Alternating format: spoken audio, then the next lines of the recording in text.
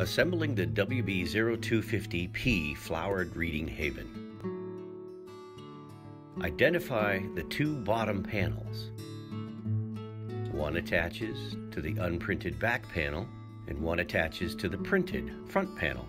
The bottom panels are identical. Each has finished edge and an unfinished edge with three screw holes that align with the three screw holes along the bottom edge of each side panel.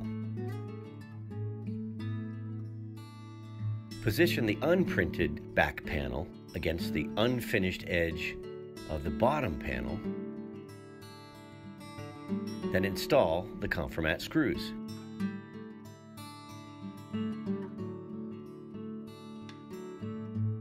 There are four side panels that are identical two attached to the printed front panel and two attached to the unprinted back panel.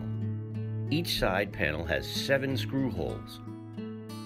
Locate the two screw holes in the lower corner, then align that corner over the two screw holes in the lower side corner of the side and bottom panels.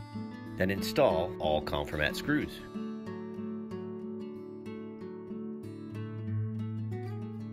There are two cap nuts that insert into screw holes in the interior backside of each side panel.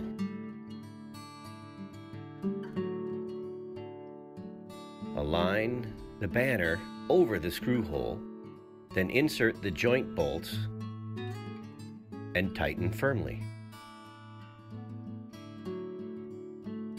Position the back panel into place. Insert the cap nuts. Then install the joint bolts and tighten firmly.